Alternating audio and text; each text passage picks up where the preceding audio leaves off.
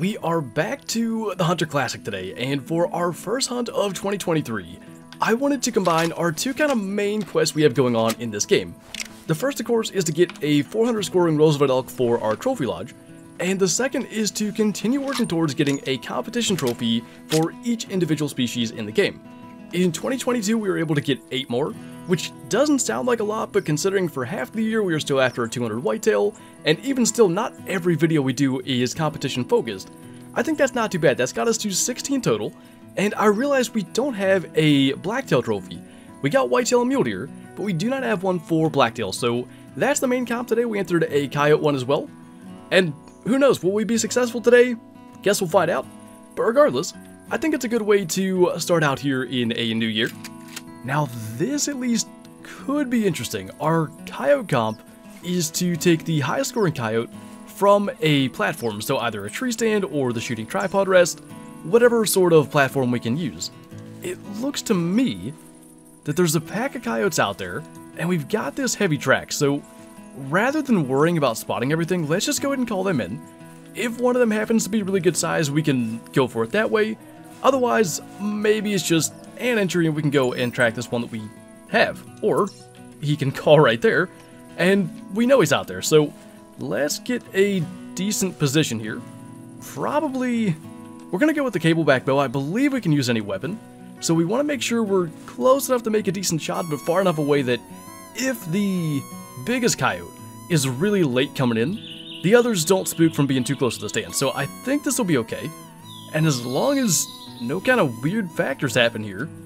We should have a chance at maybe being top three right away here. The only thing I can figure is that maybe it's one of these guys with a 20 to 25 estimate. Because, like, there's another track there that wasn't there before, so it must be one of them. I don't know which left it, but this guy does have the highest score estimate. So, gonna be honest, haven't fired the cable back bow in probably a couple months. We had the Christmas hunts and all that, where we didn't take it, but Fortunately, standing still, no obstructions, that's a shot we can make. That was not the right coyote. Which does make it kind of interesting. We'll pick up the track and see what that says. 23 kilos is decent. I mean, 50.5 isn't going to win that, but, you know, 87 GM doesn't hurt. That puts us in 5th right now. Let's see. Did we at least spot the right coyote? Evidently we did, so at least we know that. Little unfortunate that it wasn't a bit better than that, but I mean, that's our first kill to hunt. Not to complain that that's not a competition winner. Now, the nice thing is, when it comes to the blacktail competition, the only thing we need to do is take the heaviest blacktail buck.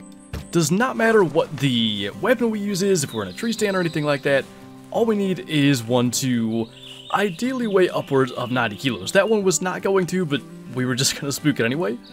Fortunately, Looks like we got a long shot. I don't know what it would have weighed, but typically I think you need at least like a 140 or 150 blacktail to potentially be in that upper weight class. We can see. I mean, up to 80 is not bad, but again, not going to be something that would have a shot at a competition trophy. And finally, to complete the trifecta of the three things we're after today, we do have a bull elk coming in. We had the bugle from that on the track of the blacktail, so Unfortunately, to be tracking two things, I sort of wanted to use the bow because there were other elk coming in, but at least no sign of any monster pulls running off. That will be a long shot as well. So I guess we'll mark this, go track the blacktail, get back on this track, and it may, by then, allow us to fast travel to the Golden Tree Stand. That's where I've been trying to get to, so that would be one way to do it. And just to clarify, I haven't picked up a new track yet. I didn't realize the buck was laying right here.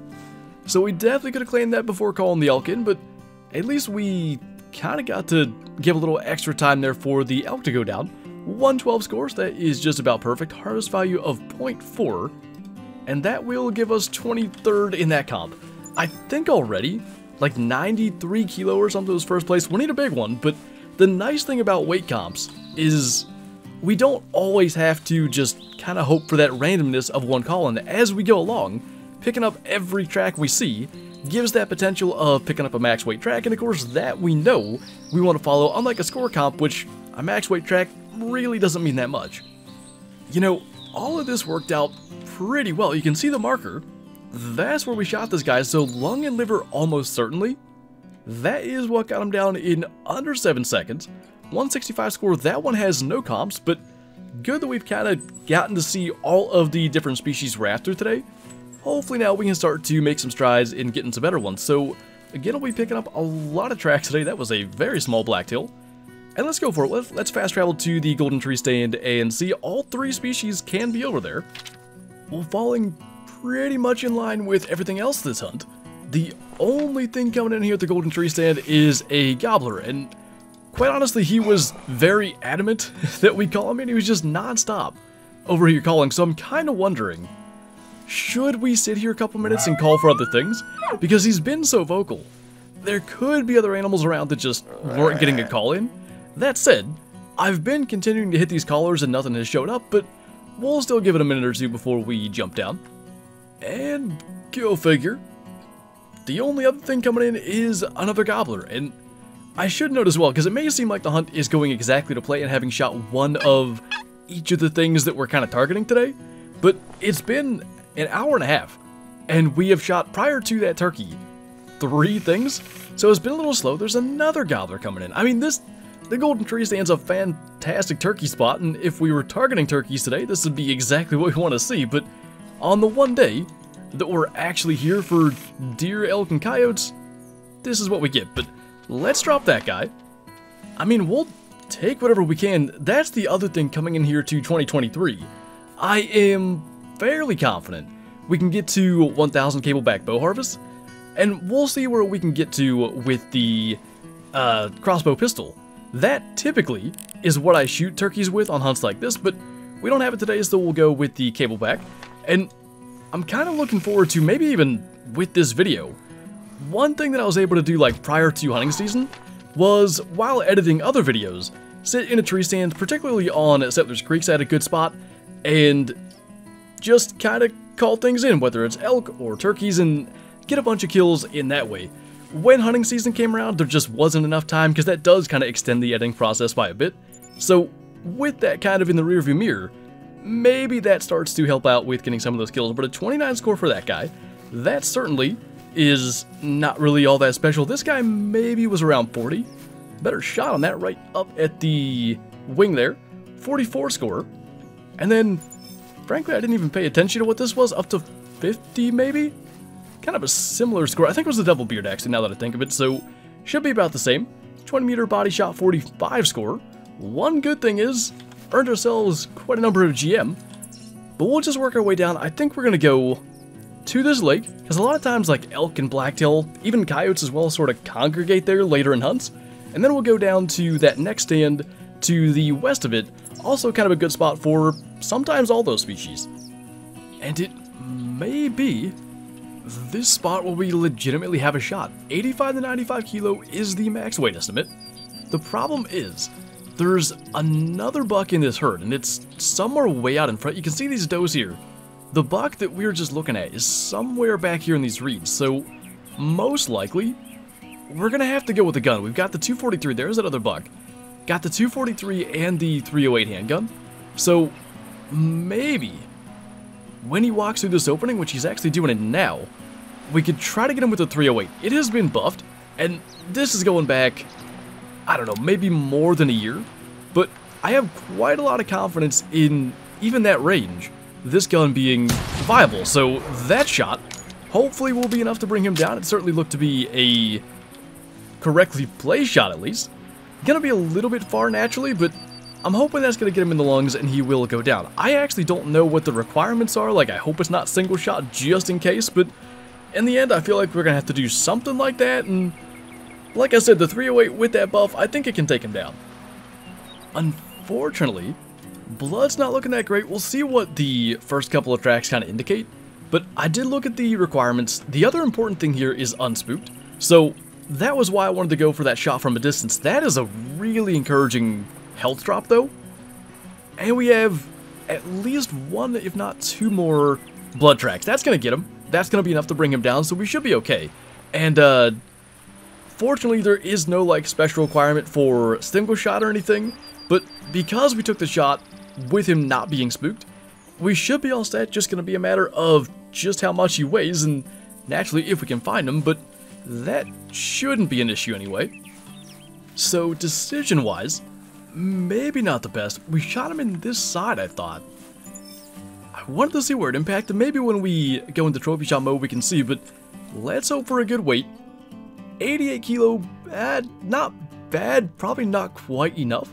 Let's see where that puts us for now. Puts us in 6, so whatever ways to go. The odd thing is I don't see... Oh, no, I do. Maybe a touch too far forward. I thought we had to lead him a little bit more, I guess, than we did. Had we just waited an extra fraction of a second to take that shot, we may have been all good, but luckily it got him down, and in the end he wasn't big enough to uh, get top three anyway. But halfway decent as we make our way over to our next spot. Certainly worth stopping there at the lake. So you may be able to tell, a little bit of time has passed here. I've gone on a bit of a lengthy last-ditch effort to get something kind of halfway decent here for one of the comps or just in terms of elk. And unfortunately, nothing like that has really occurred. So we're going to take that bull there. He was the best option we had, and I'm hoping that's going to be a long shot. I felt like we were a little low, but these other ones were getting so close. We were about to spook everything. I mean, on the off chance that somehow we didn't get the other, we can take that guy. Might as well. Would have been a way to get a cableback bow harvest too, but also would have potentially been a way for him to just get away. So this guy, we heart shot. Lung and heart at that range is a little more encouraging for the shot that we took down here. What I don't see is bright blood, kind of like obviously sticking out, that is body blood, so that's not going to kill the other elk. Luckily, we got the little bonus one. And, you know, despite the fact that we did not place in a competition or get a 400 elk, can't complain about a hunt in which we had estimates for both competitions we were in that at least would have given us a shot.